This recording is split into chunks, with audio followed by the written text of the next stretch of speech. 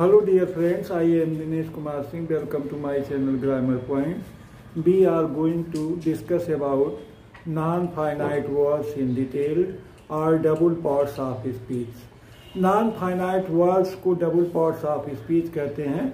इस लेक्चर में हम मुख्य रूप से इन्फिनेटिव जीरेंड और पार्टिपल की चर्चा करेंगे। तो इसको डबल पार्ट्स ऑफ़ स्पीच क्यों कहा जाता है? क्योंकि इसका डबल रोल होता है। यह नाउन का भी काम करता है, वर्ब का भी काम करता है, नाउन का भी काम करता है, एडजेक्टिव का भी काम करता है। तो ये डबल पार्ट्स ऑफ़ स्पीच इस नाते इसको कहा जाता है। और यह जो है, अपने सब्जेक्ट के नंबर और पर्सन से स्वतंत्र होता है। यह जो है, अपने सब्जेक्ट के नंबर और पर्सन से स्वतंत्र होता है। इस लेक्चर में हम आपको इजी से इजी तरीके से इन्फिनेटिव पार्टिसिपल और जीरेंड को डिफाइन करेंगे कि आप चुटकी में इसको पहचान जाएँगे और समझ जाएँगे। तो अब हम चलते हैं अपने लेक्चर की तरफ़।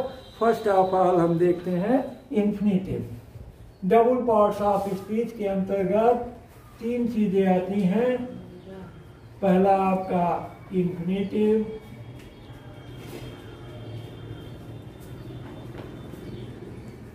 दूसरा आपका जीरेन और तीसरा आपका पार्टिसिपल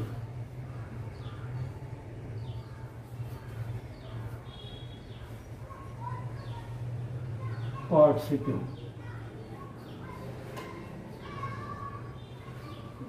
इन्फिनेटिव जीरेंड और participle P A R T I C I P L E तो ये तीन चीज़ें आती हैं डबल पार्ट्स आपके स्पीच के अंतर्गत इन्फिनेटिव जीरेंड और पार्टिसिपल अब इन्फिनेटिव क्या है? यह भी वर्ब की फ़र्स्ट फॉर्म से पहले टू जोड़ा जाता है। विथ टू या विदाउट टू का प्रयोग करके इन्फिनेटिव बनाते हैं। जीरेंड जीरेंड क्या है? वर्बल नाउन क्या है? वर्बल नाउन वर्ब की फ़र्स्ट फॉर्म में आई जोड़ा जाता है और पार्टिसिपल में भी वर्ब की फ़र्स्ट फॉर्म में आई जोड़ा जाता है। अंतर क्या है कि ये वर्बल नाउन है। जीरेंड नाउन को क्वालिफाई करता है, जबकि पार्टिसिपल जो है एडजेक्टिव को क्वालिफाई करता है।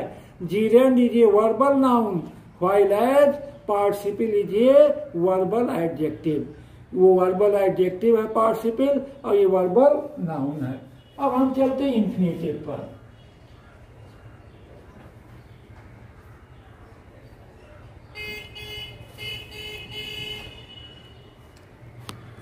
Infinitive, ये form of word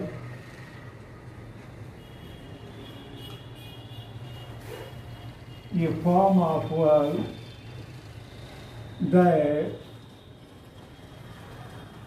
denotes an action or state that denotes an action or state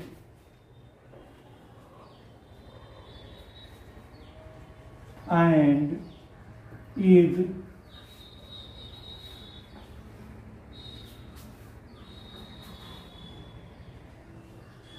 not limited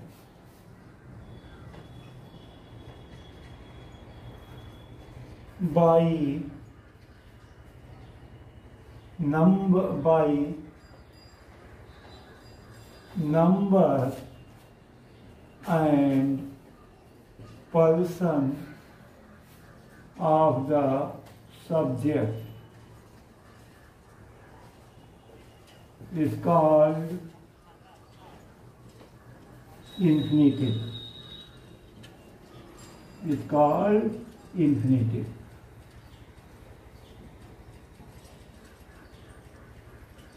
ये फॉर्म ऑफ़ वर्ब यह भी क्रिया का एक रूप है दैट डिनोट्स एन एक्शन जो कि क्या ज़ाहिर करता है एक्शन जब ये क्रिया है तो निश्चित रूप से कोई न कोई एक्शन ज़ाहिर करेगा और स्टेट या कोई अवस्था या दशा को बताता है and is not limited by number and subject of the person or subject, और ये नंबर और पर सब्जेक्ट के नंबर और पर्सन से प्रभावित नहीं होता, सीमित नहीं होता है। इसी को हम इंफिनिटिव कहते हैं। दूसरे शब्दों में हम कह सकते हैं, दूसरे शब्दों में क्या कहते हैं? ये form of word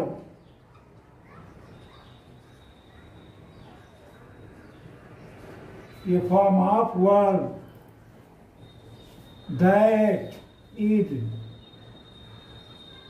used with or used with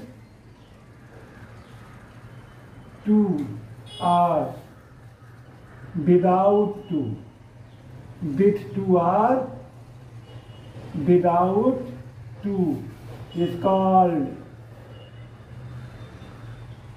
an infinitive. It's called an infinitive.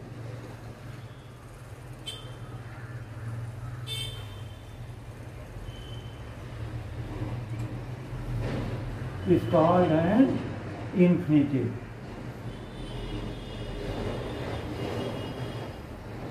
It's called an infinitive. Infinitive का मतलब होता है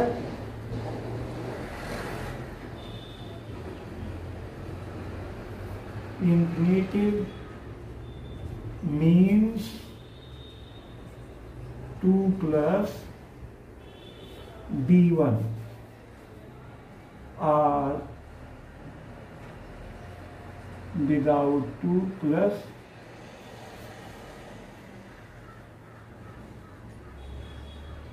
to plus V one तो इंफिनिटिव का अर्थ होता है टू प्लस बी वन अब हम समझते हैं ये फॉर्म ऑफ़ वर्ब क्रिया का ऐसा रूप दैट डिनोट्स एन एक्शन जो जिससे किसी भी क्रियाकलाप का या किसी स्टेट का जो है बोर्ड होता है and is not limited by the number and person of the subject और यह कर्ता के नंबर और पर्सन से सीमित नहीं होता है। अर्थात कर्ता के नंबर और पर्सन का इस पर कोई प्रभाव नहीं पड़ता है। इस कार्ड एंड इंफिनिटिव उसे इंफिनिटिव कहते हैं। शॉर्ट फॉर्म में हम कहें, ये फॉर्म ऑफ़ वर्ब, ये form F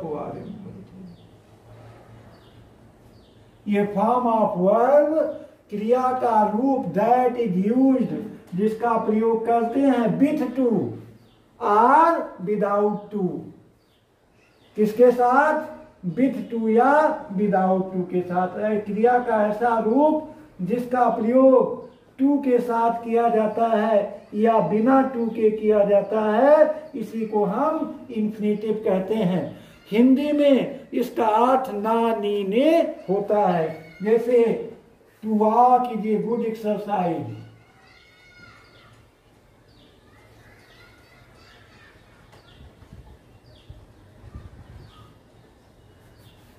to walk is a good exercise. To walk is a good exercise. To walk is a good exercise टहलना एक अच्छा व्यायाम है अब ये टू वाक क्या है आपका इंफिनिटिव है दूसरा।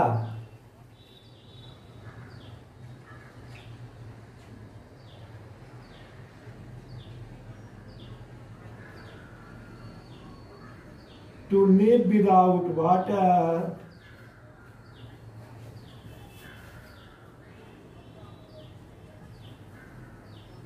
is impossible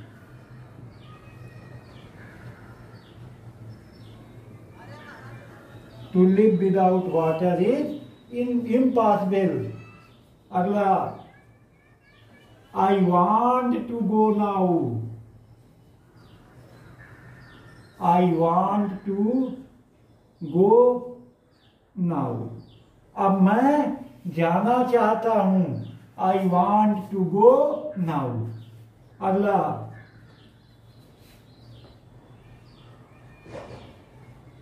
I am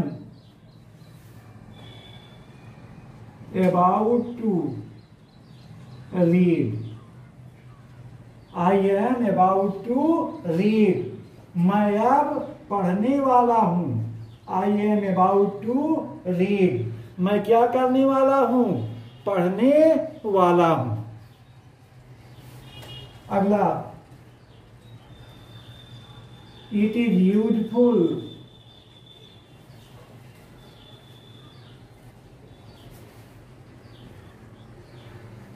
it is useful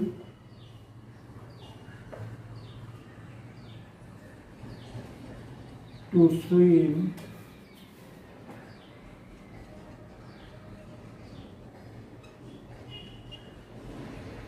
in the river.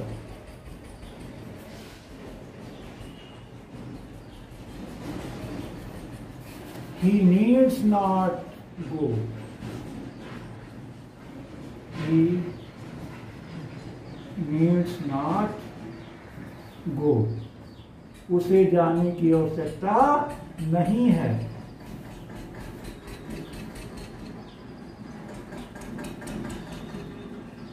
अगला let him work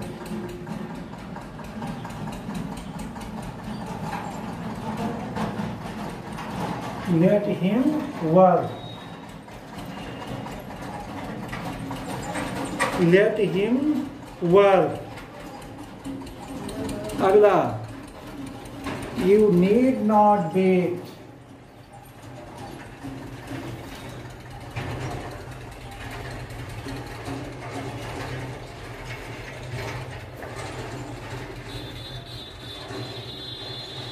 you need not wait तो अब आप हम देख रहे हैं कि to is a good exercise टहलना एक अच्छा व्यायाम है। इसमें टू है। To live without water is impossible बिना जीव पानी के जीवन संभव नहीं है। टू लिव विदाउट वाटर पानी के बिना जीना इज़ इम्पॉसिबल क्या असंभव है? I want to go now अब मैं जाना चाहता हूँ। I am about to read मैं पढ़ना चाहता हूँ। नहीं I am about to read मैं पढ़ने वाला हूँ। I am about to read मैं पढ़ने वाला हूँ। It is useful to swim in the river. नदी में तैरना उपयोगी है। It is useful to swim in the river to swim हो गया। और ही नीड नॉट गो, उसे जाने की ज़रूर, ही नीड्स नॉट गो, उसे जाने की आवश्यकता नहीं है। ही नीड्स नॉट गो वह नहीं जाना चाहता मतलब उसे जाने की ज़रूरत नहीं है। या लेट हिम वर्क उसे काम करने दो। यू नीड नॉट वेट तुम्हें इंतज़ार करने की आवश्यकता नहीं है। तो ये सब आपका जो है, क्या है? इंफिनिटिव है। क्या है? इंफिनिटिव अब इसमें आप देख रहे हैं कि यहाँ ये आपका विथ इंफिनिटिव का प्रयोग है। With to plus V one. इसमें इन चारों वाक्यों में, पाँचों वाक्यों में क्या है? With to plus V one.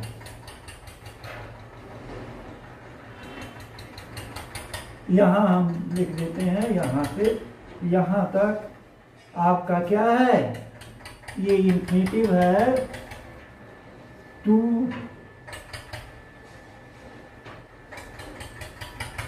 with to plus V one इसमें इन पाँचों एग्ज़ाम्पल में हम देख रहे हैं कि क्या है?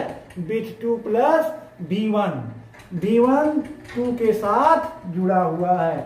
और सिक्स सेवन एट जो एग्ज़ाम्पल है, इसमें क्या है? Without to without to plus V one इसी को हम बेयर इंफिनिटिव कहते हैं। बेयर इंफिनिटिव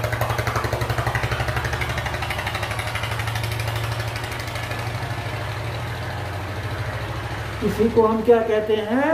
बेयर इंफिनेटिव इसको बेयर इंफिनेटिव कहा जाता है। अब हम चलते हैं। जीरेंड की तरफ़ दूसरा जो डबल पार्ट ऑफ़ स्पीच का पार्ट है, हमारा gerund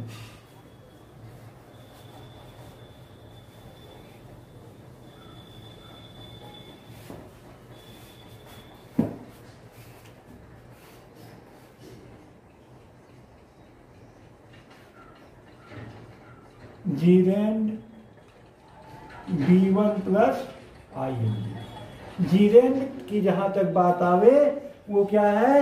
V one plus I N G है और इट इज़ ये वर्बल नाउन क्या है ये? वर्बल नाउन वर्ब है और नाउन भी है। ये पार्शियली वर्ब भी है और नाउन भी है। दोनों है तो इसको वर्बल नाउन कहा गया it is partially a verb and ये नाउन ये आंशिक रूप से वर्ब भी है और नाउन भी है। इट इज़ नाइडर ये वर्ब नार ये इट इज़ नाइडर ये कंप्लीट वर्ब नार ये कंप्लीट नाउन ना तो ये पूर्ण रूप से क्रिया ही है और ना पूर्ण रूप से संज्ञा ही है। तो इसको वर्बल नाउन पार्शियली मतलब आंशिक रूप से इसको वर्ब या नाउन दोनों कहते हैं। अब हम इसको डिफाइन कर लेते हैं जीरेंड को।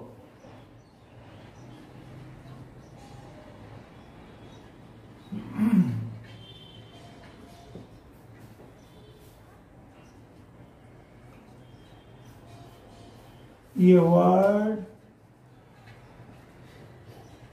that is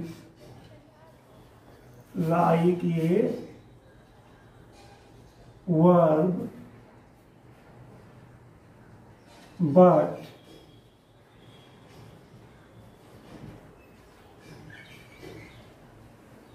performs the work of work of noun a word that is like a verb but perform the work of noun is called gerund ये word that is like a verb but perform the work of noun is called gerund अथवा आर करके हम कहते हैं a form of verb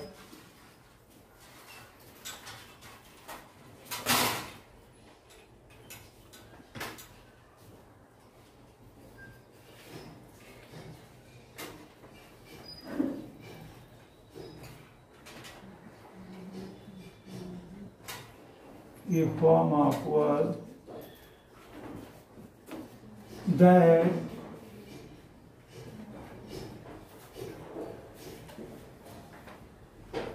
is used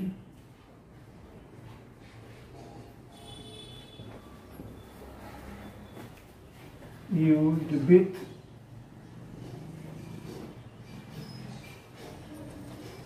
verbs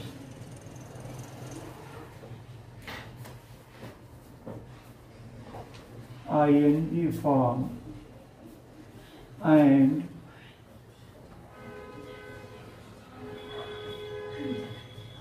modified a noun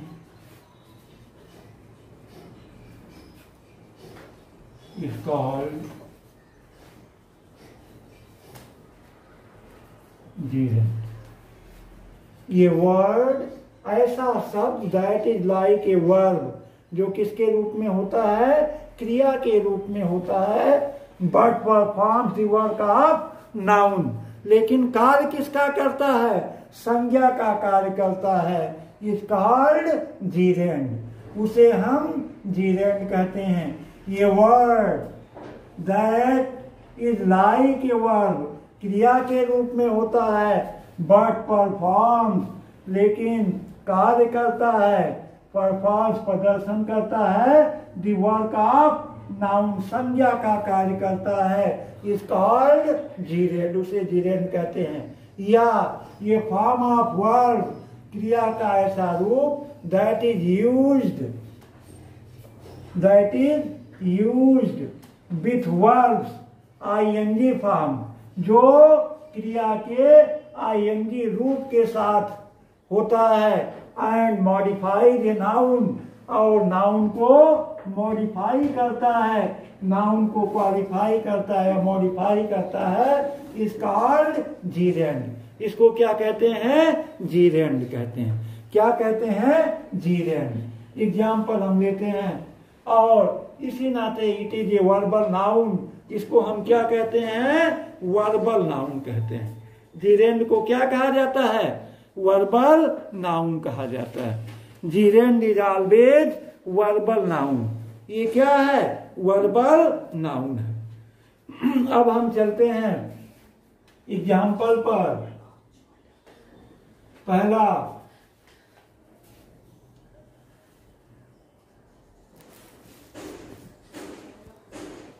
walking is a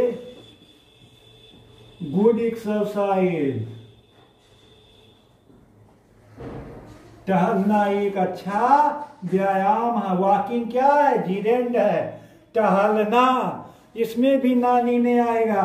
Walking is a good exercise दूसरा ही likes singing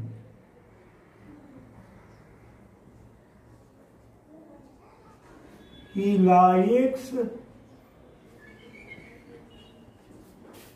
singing Allah.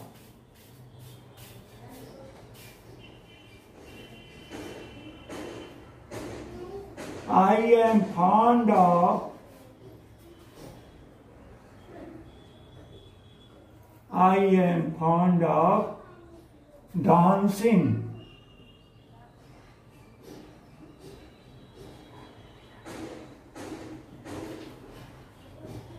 I am fond of dancing. मैं किसका शौकीन हूँ? नाचने का शौकीन हूँ। डांसिंग यहाँ क्या है आपका? धीरेन्द्र है। I am fond of dancing अगला। Swimming is good for health.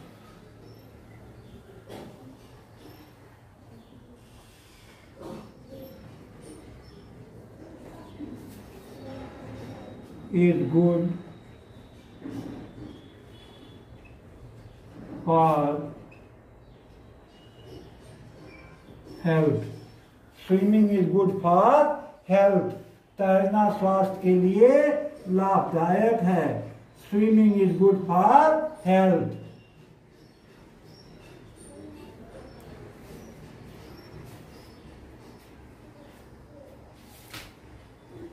swimming is good for health तैरना स्वास्थ्य के लिए क्या है? मतलब अच्छा है। अगला है reading is his hobby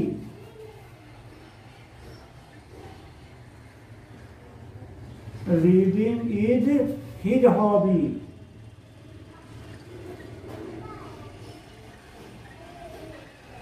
पढ़ना उसकी शौक है। रीडिंग इज़ हिज हॉबी पढ़ना उसकी शौक है hunting wild animal is illegal hunting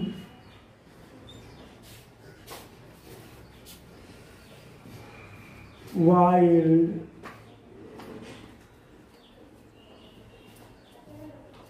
animals is illegal.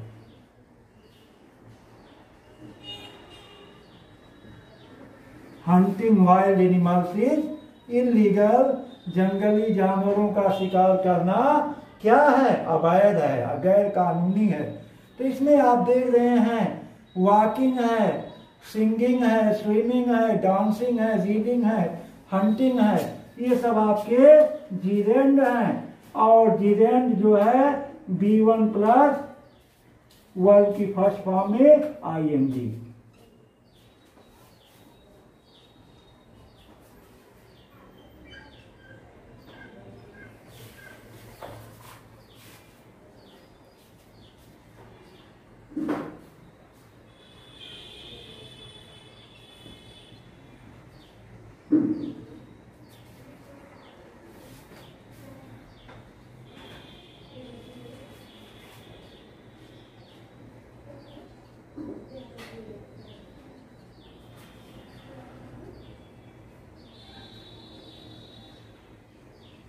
ये आपका जीरेंड हो गया।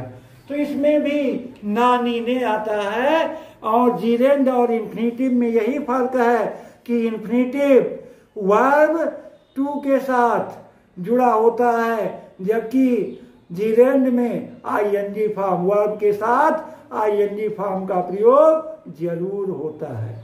अब हम चलते हैं। पार्टिसिपल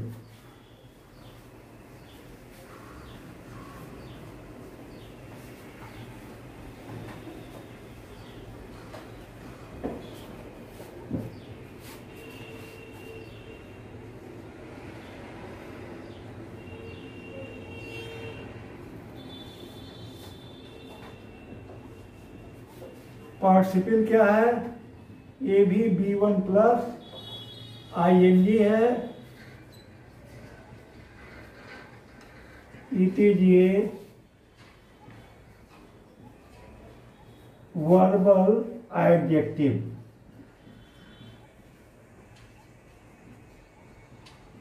ये वर्बल एडजेक्टिव जब भी पार्टिसिपल की बात आएगी तो ये क्या होगा? वर्बल एडजेक्टिव होगा। अब हम पार्टिसिपल को डिफाइन कर लेते हैं।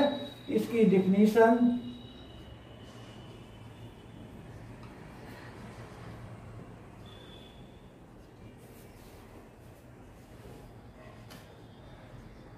ये word that is like that is like a verb but performs the work of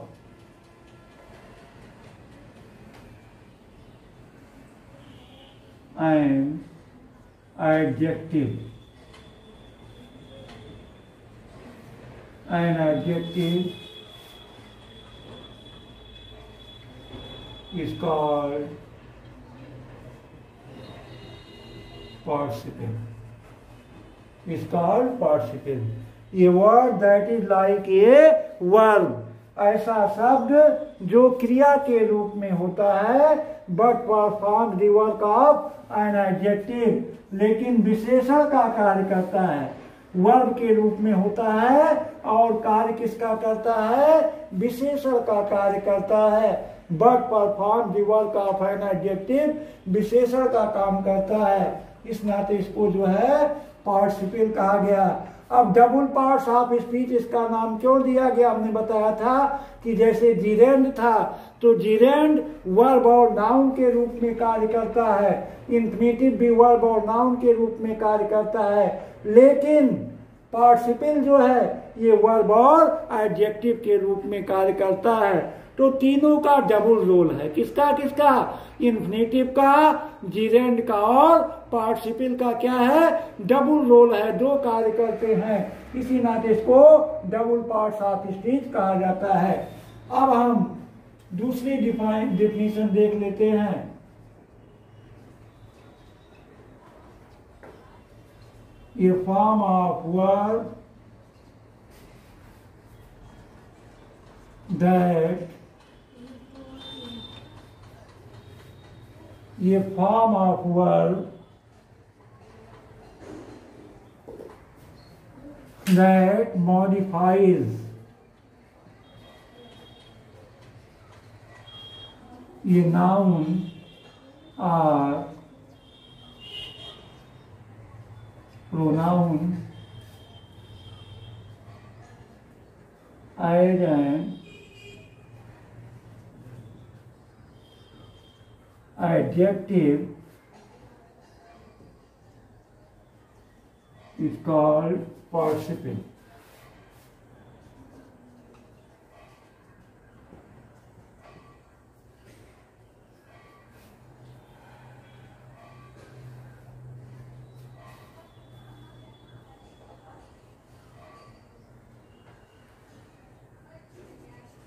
It's called participle.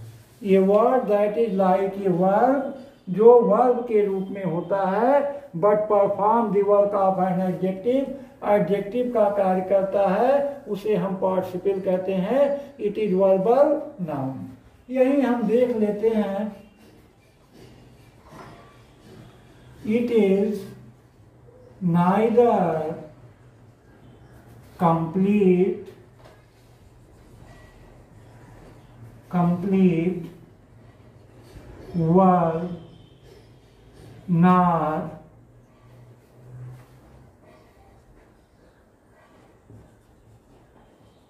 complete adjective.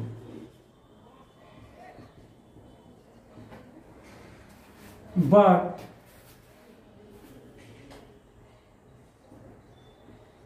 it is partially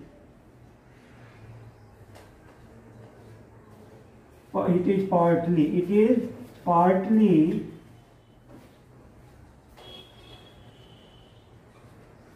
verb and partly and adjective. It is neither complete verb ना तो ये पूरा verb ही होता है ना complete adjective और ना पूरा विशेषण ही होता है। बट परंतु इट इज़ पार्शियली वर्ब ये आंशिक रूप में वर्ब होता है। एंड पार्शियली एंड एडजेक्टिव और आंशिक रूप से एडजेक्टिव भी होता है। अर्थात ये वर्ब और एडजेक्टिव दोनों होता है। अब एग्ज़ाम्पल हम लेते हैं। I saw him singing. I saw him singing. मैंने उसे गाते हुए देखा। मैंने उसे कैसे देखा? गाते हुए देखा। ऐसा हिम सिंगिंग अब सिंगिंग क्या है? ये आपका पार्टिसिपल है। दूसरा seeing a lion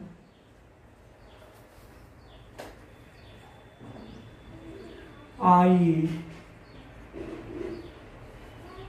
climbed up a tree. अब ये किसको क्वालिफाई कर रहा है लायन को?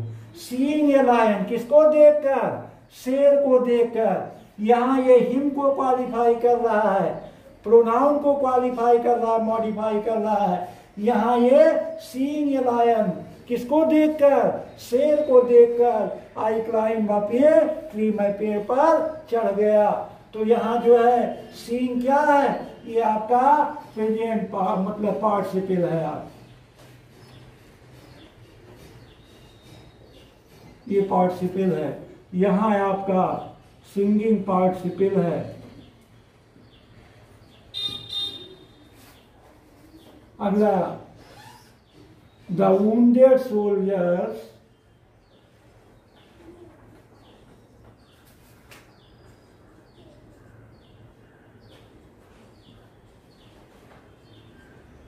were sent to hospital.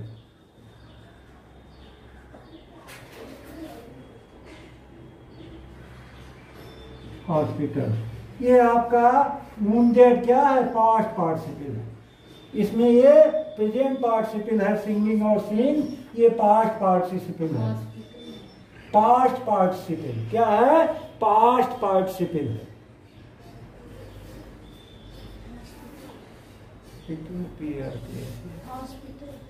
हाँ H O S P I T L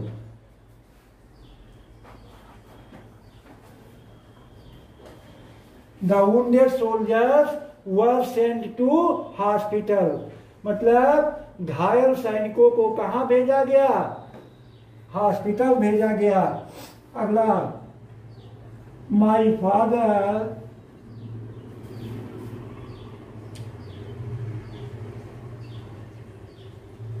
is a retired teacher ये भी आपका पास्ट पार्टिसिपल है। My father is a retired teacher अगला। ये बॉर्न चाइल्ड ये born child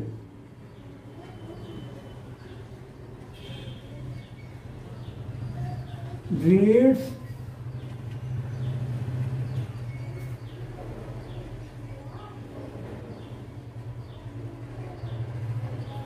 reads the fire. जला हुआ बच्चा आग से डरता है। यह तीनों आपका पास्ट पार्टिसिपल है। वैसे इसकी चर्चा हम अगले में भी करेंगे, वैसे आप जान लीजिए, यहाँ पास्ट पार्टिसिपल है, इन दोनों में आपका क्या है? प्रेजेंट पार्टिसिपल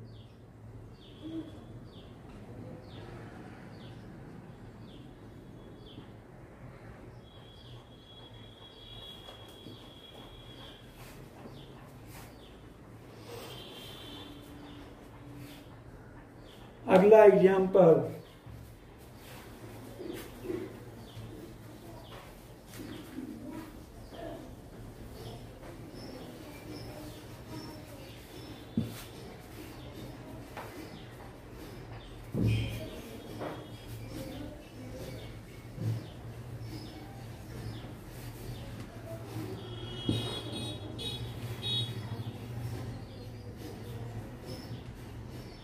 अगला example I saw a girl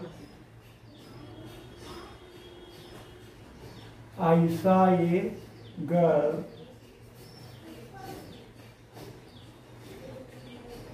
carrying a lantern I saw a girl carrying a lantern मैंने एक लड़की को लालटेन ले जाते हुए देखा। अगला एग्ज़ाम्पल आई सा हिम स्टीलिंग आई सा हिम स्टीलिंग मैंने उसे चोरी करते हुए देखा। ये सब आपके क्या हैं? प्रेजेंट पार्टिसिपल हैं। अगला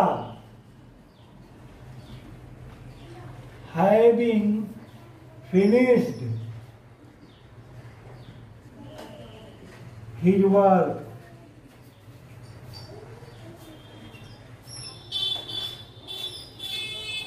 having finished his work ram went to play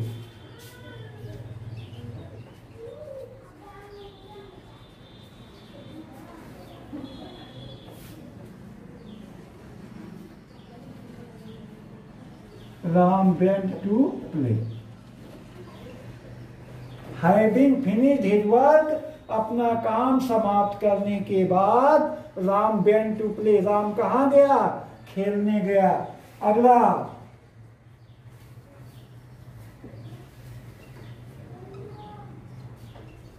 Having written a letter.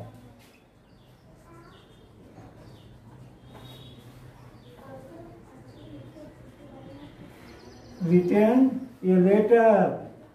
Sita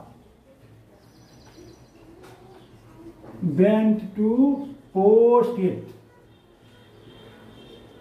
Sita उसे पोस्ट करने गई having written a letter Sita went to post it अब ये आपका अगला having been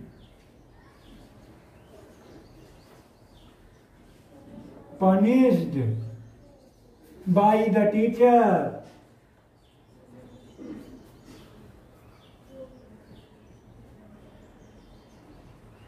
Teacher, Ram left the school.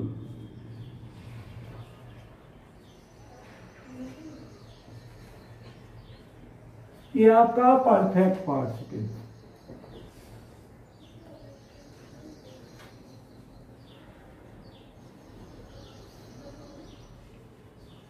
तो इस तरह से हमने जो है, इसमें केवल डिफिनीशन के बारे में एग्ज़ाम्पल के बारे में कैसे आप इसको इन्फिनेटिव पार्टिसिपल और जीरेंड को कैसे पहचानते हैं, उदाहरण के माध्यम से डिफिनीशन के माध्यम से आपको ठीक तरीके से समझाने का प्रयास किया गया।